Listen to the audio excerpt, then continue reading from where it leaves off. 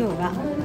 えー、愛知県からお越しいただいて家業家業水族家業の講習時だったんですけれども現地までお越しいただいてありがとうございます。こちらこそありがとうございました。はい。それでえっ、とまあ第1回目聞き終わってあのご感想も率直な何でも大丈夫ですどんなご感想もどんなはいぱりいわゆるビジネス講談みたいなのと全然違う感じで、はい、えっとですね、美容家の皆さんのことを私はあの巫女さんだと思っていて、会長が宮司だと思っていて、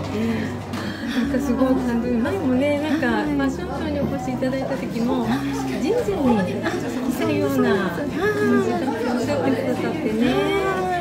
それさみこさんもなんかすごく神聖な気持ちになります言われると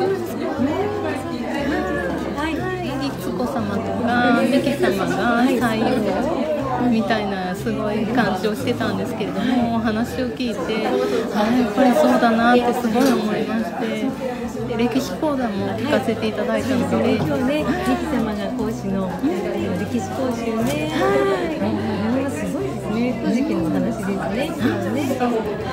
セットで聞けたので余計に分かりやすかったというか。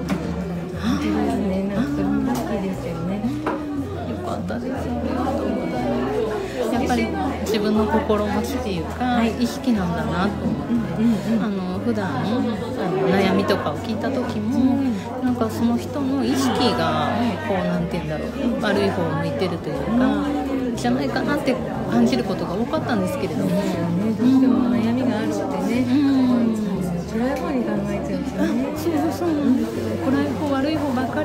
いているっていうか、うんそういったところとかあったんでそういったの疑問みたいなのもちょっと解けて、はい、まだ1回目なんであれなんですけども、でも教えていただいたこと、本当にやっぱり本当のことって簡単で無料ですぐできることなんだって。そうそう本当ですよね高額払ってちょっと難しいことを